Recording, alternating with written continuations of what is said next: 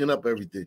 Um, he said, Miguel Wano says, if you walking down the street in the evening and you hear someone behind you and see it's a glider, you are re- are you relieved? He's asking you. Um, love. Is a glider a gun? A glider is a white person. If you if you're walking down the street late at night and you hear some loud voices, you hear some rockers, and people if you hear footsteps coming behind you, and you turn white around and you see over some here in white.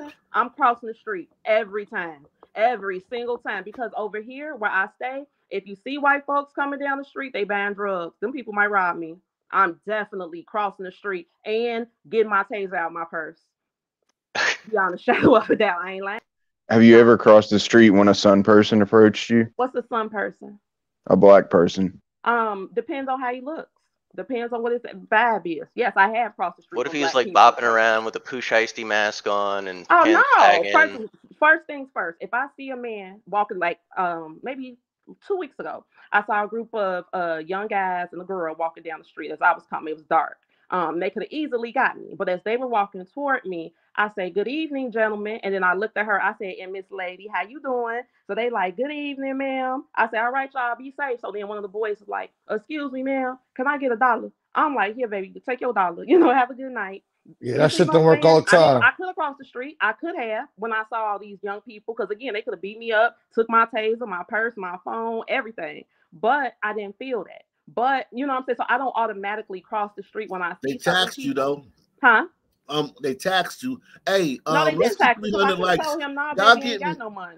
This y'all getting lazy. here. You don't know the West Y'all- Side. The- Let me Hold tell you something about the West Side of Chicago. Hold on, let me, hold on, that give me one second, one second, one second, one second, one second. Y'all getting lazy on the likes, man. If I don't say hit the like button every t- 10 minutes, they it's just the shit just go dead. Please hit the like button. Go to Rumble, hit the Everybody, like.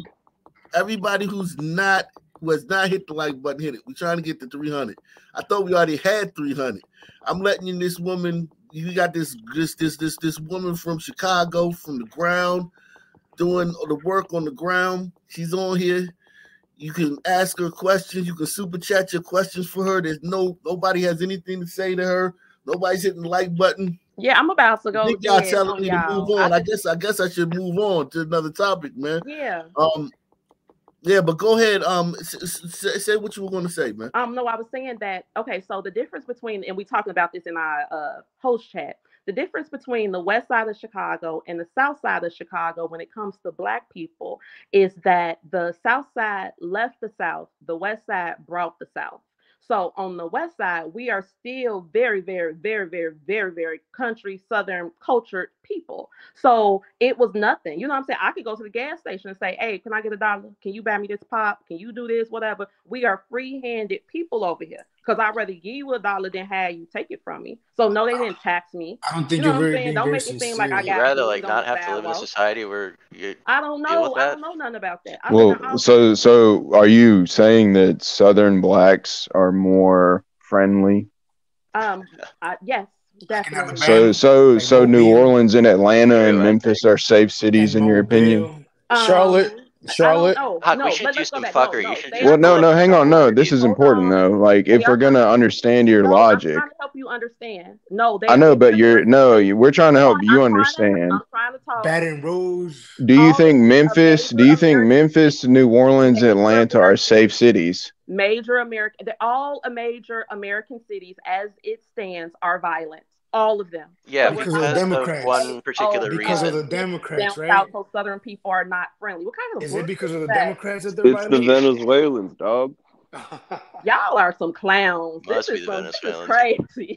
Y'all Well, I mean, we just kind of disproved your No, you theory, and now you're calling us clowns. anything, honey. I'm telling you, there's a difference in Southern hospitality and grace. And Oh, they shoot you in the with face with instead of the I've normal never back. been people. shot in the That, that applies to normal shot in the face. people though. I know. I It know a lot of people. to the violent ones I, though. I know a lot of people kind that say good is afternoon. that? I know a lot of people that say good afternoon, good morning, good night, and still shoot you.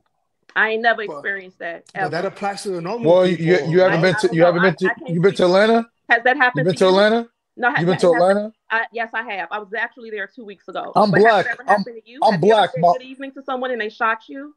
Has I'm black. happened My, to you? listen, what I'm trying to tell you. I'm black my whole life. I've never been scared of a white person my whole Me, life. You me want either. people? You know, you know, you know, people are the whole the people I've been in danger of my whole life to rob, rob me, try to shoot me, try to kill me. Guess who they were? Were they black? Venezuelans. They were black. Same well, that's by all funny. I'm sorry you had that experience. I've never experienced that. I've never experienced. That's not my experience, so I can't speak on that. I can't confirm it. I, You're not, you're not being genuine, though. It's not you're not being genuine. you say you had several family members who were murdered? Yes, They were uh, murdered, two, presumably two by- cousins by- and an uncle. All of them were um in in a street altercation. You see what I'm saying? Like, But if, but if these Yeah. but, business, but these dudes kill innocent people all the time. yes, they though. do. Yes, they do. Yes, like I said, you there. Random acts of violence happen. Yes, they do. Very Absolutely. often than we like But to. when you ask me like to about my admit. people, you asked me about my folks. I said that my people Now- were not random acts of violence. What, what would you say if I told you that? Hold on, hold on, please. Hold on, you've been So- oh, talking the hold on. entire night nonstop. Hey, Can I'm you so stop what? talking He for a to second? speak. Uh, what you the boss? You you the master man? Fuck out of here. anyway, um, that's what I was Yeah, this saying. ain't, Uh, this ain't the plantation, huh, Black? This ain't the This plantation, is great. Call me stuff. massive. I, I think that I think this is the plantation, but the slave owner is black. oh, oh.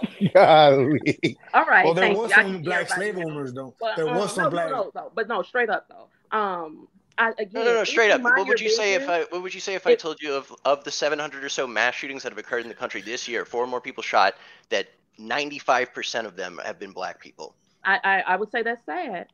Oh, what yeah, you want me to say? that- that's What more you want me to sad. say? That's insane. Yes, it's sad. It, it's And- and it's American. the case Remember, because there's Black nobody people are more regularly American than spraying Negro. bullets into the streets of American cities at random. That, everything that black people are doing is 100% American because we 100% American. It's not 100%. It It is applies. American. It's happening So so do you Well, think wait, so Haiti is a safe country? Because I'm sure my family was here before yours. So if it's Or so Jamaica. these actions are not Or American, Jamaica or anywhere in sub-Saharan entirely Africa? Irrelevant. This was our country before they. Yo, they, what's they the word, uh? Before they Anyway, look, people. y'all. I'm about to um go to sleep. It's super late. You be safe. Um, I thank Hold on, y'all. hold on, hold on for one second. We got somebody from Chicago. You got a question for her, um, Crook County? Oh no, I was just listening to her, man. She got, you Hey, know, so- got, Crook, I know you got a points in there. question, man. no, no, no, So- man. I'm, I'm gonna let her ride, man. Hey, we So- so- so- appreciate you though. yeah. So she, Hell yeah. Yeah. Hell yeah. So so are we taking bets on the likelihood that Chicago's flipping red in the next election? Oh, you know, Oh, I, come on, red man. sure. Hey, look, check it out, I check it out, think y'all. that Led by on the crest by convinced Sun me, people. Hey, Crook hey, listen, listen, listen, listen, listen, listen, listen, y'all, listen. All right, so that that sister right there, right? Y'all expectations when it comes to like a black, a semi-conservative, or you know what I'm saying, whatever. Yeah. It can't Like a be movement. Candace Owens, dog. Like that's this is yeah, right here. true. She's she's That's the true. elite for uh, a black conservative woman in a liberal ass city. Like, yeah. she still got hella like liberal fucking, you know what I'm saying? Yeah. You know what I'm I- saying? She's a sister. and Positive She a shit like that. sister. She a sister. She's a sister, but like it's just like, dude, she grew up around none but some people. Yeah, Her uncle's for some sure. people. She's used to the some people environment. She still But- believes in a lot of, you know, liberal talking points. But, But she's think they're gonna trying. flip? But do you She's think they're trying. Flip though? Do you think they're gonna Facts. flip though? Hell no. Hell no! You convinced me, bro. I used to think that the way the way they talk Kirk County, I thought they were gonna flip, and then I talked to you, and you, Man. I was like, nah, they not. Listen, bro, this shit be read before the fucking first ballot is fucking recorded. I I mean, blue The the the, the first ballot. first yeah. time they run some national story Right. on ad- some son person getting victimized by the police, any ground they gained is gonna be lost. I might even, The I might even Yeah, vote for Biden. that's the I the might even vote for Biden. You're out here saying that, oh, I'm crossing the street because gliders are coming down here and I might get jacked by these drug addled gliders. Like, there's like fucking gliders walking around in the south She's side of of shit. Chicago. She's full of shit Yeah. about that. She don't believe The that. fuck? She don't believe that. She There's no way she she can't. She came out of us. She came out of herself. I'm sorry. It is what it Yeah, yeah, yeah. She's full of shit. Yeah, I, I tried to be patient until uh until she went about the whole uh Southern blacks or Yeah, Safe. somehow more genial. I mean, in a lot of ways, maybe, but uh, they're also. a I lot straight up told her I thought Yeah. she was lying. Yo, they'll say please and thank you before they kill you. Before they take Yeah, your car. Please and thank you. Can I have them keys? Please and thank you. Let me um let me let me move along. Please take the five dollar challenge or the ten dollar challenge via PayPal or the Cash App or the Super Chat. Um, please continue to hit the like button as you guys come in, and those of you who have been here and have forgotten to hit the like button, please hit the like button. Um, let's move along, man. Um,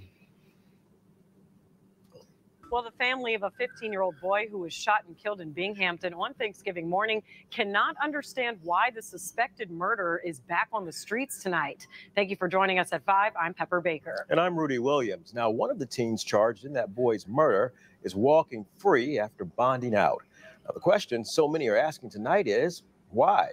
Well, a short while ago, our Stephen Pimpo sat down with the judge who made that decision. And Stephen, what did you learn today? Rudy Pepper, Judge Bill Anderson Jr. told me that while he can't comment on ongoing cases, decisions like this one actually give him the authority to monitor and place restrictions on suspects.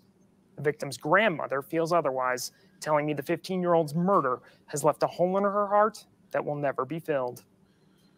I rushed over to my mom's house and I saw my nephew laying in the street with a bullet hole in the back of his head. That's what Robert Tomlinson says happened to his 15 year old nephew early Thanksgiving morning when he was shot outside his grandmother's house in Binghampton. Memphis police say 18 year old Edio White and six four. Another 15 year old were arrested and charged with first degree murder during the perpetration of a robbery. Monday, White was released on his own recognizance. I don't understand why this guy was let go after murdering my nephew. Get this guy off the Oh. street. Judge Bill Anderson Jr. is the one who One thing about that, letting people go like that, that's very dangerous, is that you have a person who's been killed, you have a family who's grieving, and let's just say that person lives on that block. Let's say the kid who killed him lives on that block. They have to see this motherfucker. They have to see this little fucktard. This Because you gotta understand, black kids are different, right?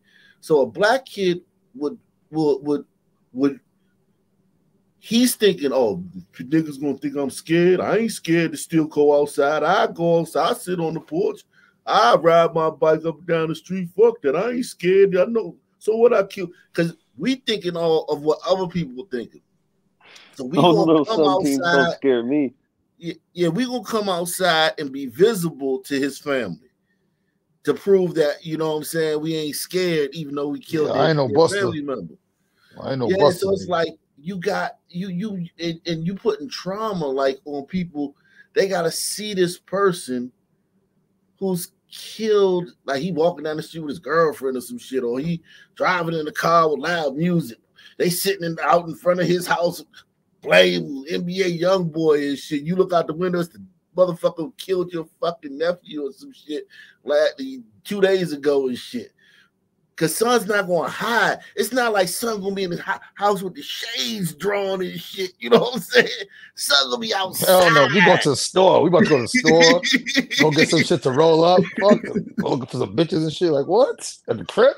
Son might know you his family and be up in your face, making eye contact with you, like, what's up? Sons are sick, especially when they're like this on the street and you know running around shooting. So I think judges don't take that into consideration, the trauma that they put the family through when you let the um when you let the shooter out and he he's from the same area as the family of the victim. Arrested and charged with first degree murder during the perpetration of a robbery. Monday, White was released on his own recognizance. I don't understand why this guy was let go after murdering my nephew.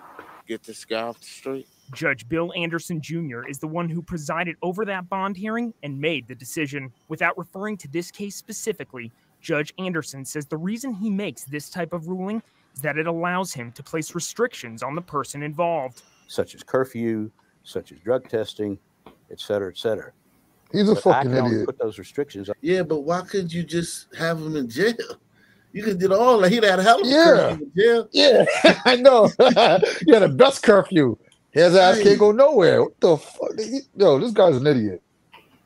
It's such a, I don't know what he's thinking. Um, such as curfew, such as drug testing, et cetera. He's a glider. What do you expect? But I can only put those restrictions on them if I uh, release them on their own recognizance. Judge Anderson says that if he sets a bond and a bail bond company pays it, they become responsible for monitoring that person. I can't control it because the bail bond company that got this person out, they don't have to listen to me.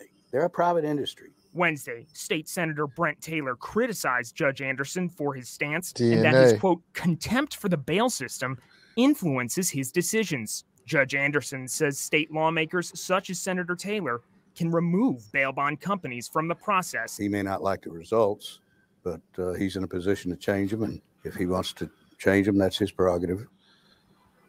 And Judge Anderson also says the root cause of these problems goes back to the easy access to guns, which is also the responsibility of the state legislature.